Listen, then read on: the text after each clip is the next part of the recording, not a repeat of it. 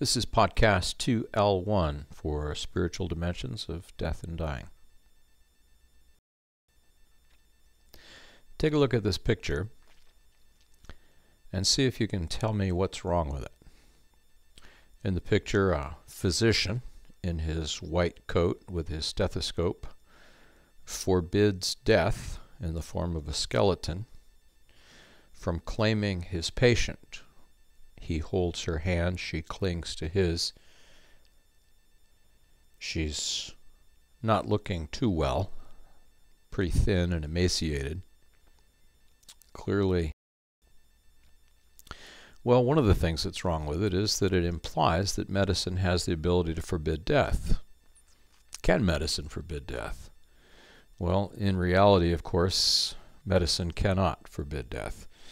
The fact of the matter is that physicians might want to forbid death, and they might be pretty good at solving some problems and fixing some things.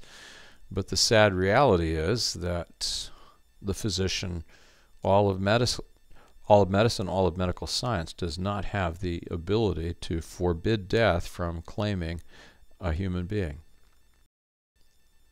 All patients die. So, what happens then when death claims the patient anyway, in spite of all the physician can do? Most physicians, most nurses, most PAs, most everybody in healthcare has the experience at some time in their career of having done the very best that they can do for a patient, but it isn't good enough. One of the reasons that this is an unhealthy viewpoint is that a physician or an nurse practitioner or an RN or a physician assistant or anybody else involved in healthcare who has such a self understanding.